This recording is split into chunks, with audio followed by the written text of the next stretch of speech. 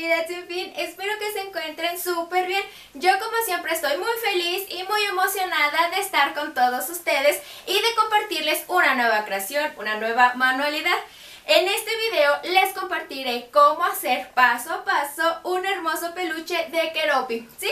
Esta hermosa ranita. Y es la petición de estas personitas a quien les mando un cordial saludo. Me pidieron que les enseñara a hacer un peluche de este personaje, así que aquí tendrán el paso a paso lo más fácil y sencillo posible para que puedan realizarlo, al igual que los materiales que sean fáciles de conseguir para que no haya ningún pretexto a la hora de realizar este hermoso peluche. Así que, ¿qué estamos esperando? Vamos a empezar porque yo estoy muy feliz y muy emocionada para que vean el paso a paso. Así que, empecemos. La lista de materiales te la dejo en la descripción del video y estas plantillas en mi Facebook para que las descargues. Toma tus plantillas, este pedacito lo pegaremos en esta parte para completar el cuerpo y las recortamos. Toma tela de color negro, doblala a la mitad y con la ayuda de una regla y un gis marcaremos el ancho de esta para obtener unas tiras, así todas tendrán el mismo grosor.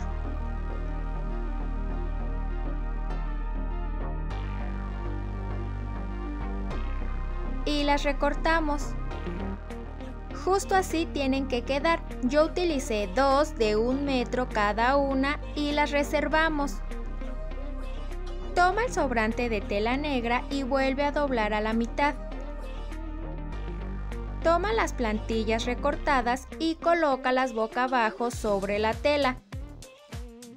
Con gis calca su contorno. Después quita las plantillas y coloca alfileres por todo lo que marcaste y recórtalas. ¡Listo! Mira, ya están todas las piezas. Con cuidado retira los alfileres.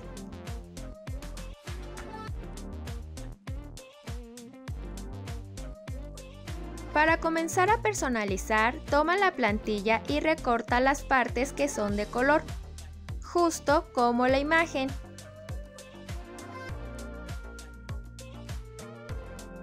Toma la pieza negra recortada y volteala para que la marca de gis quede por debajo. Recorta las plantillas para poder personalizar el personaje. Mira, así quedó esta parte. Esta es la cara. Y aquí están los círculos rosas de sus cachetitos. Acomoda bien estas piezas sobre el fieltro negro y pégalas o cóselas. Yo decoraré por ambos lados, así que recortaré esta misma pieza, pero sin marcar la boca, justo como te muestro, y de igual manera acomódala y cósela.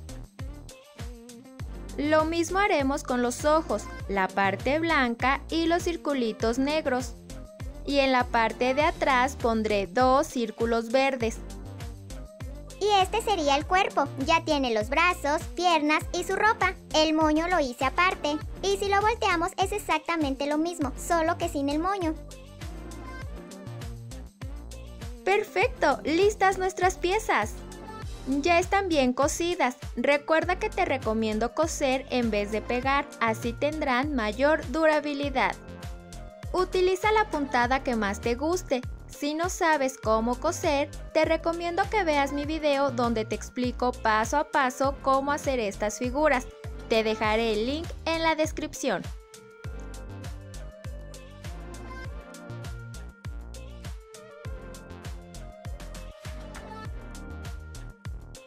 Si juntamos las piezas podrás ver que ya tiene forma nuestro keropi y se ve fantástico.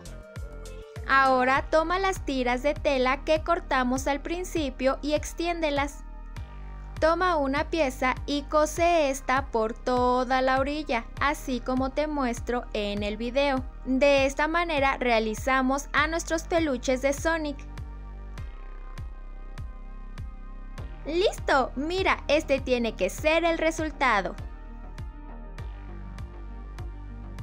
Aquí unimos las telas para cerrar Acomoda esta pieza y por encima coloca la segunda parte y de igual manera cosemos. En el video se observa cómo hacerlo.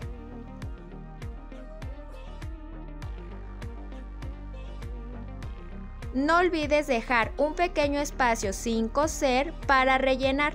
Ahora toma un poco de relleno suave para almohadas y comienza a rellenar perfectamente. Asegúrate de acomodarlo muy bien para que se vea gordito.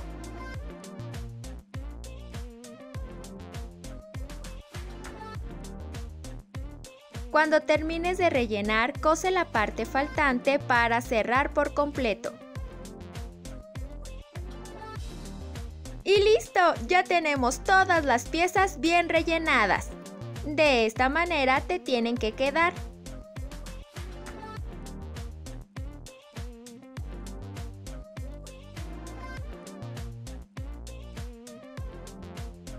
Para formar nuestro peluche vamos a hacer lo siguiente.